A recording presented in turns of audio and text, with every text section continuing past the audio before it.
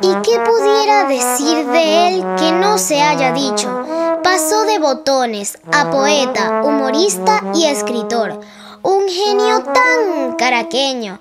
Su humor y amor nos acompaña, porque igual como Aquiles Nazoa, nosotros también creemos en el amor y en el arte como fuente hacia la vida perdurable y en la amistad como el invento más bello del hombre.